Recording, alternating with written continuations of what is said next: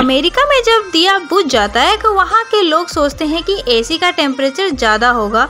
इसलिए दिया बुझ गया तो वो एसी का टेम्परेचर कम कर देते हैं और दिया को फिर से जला लेते हैं। और जापान में जब दिया बुझ जाता है तो वहाँ के लोग सोचते हैं कि उनका दिया एक्सपायर हो गया है। तो वो फिर से मार्केट से न्यू दिया ले आते हैं और पुराने दिया को फेंक देते हैं। और हमारे इंडिया में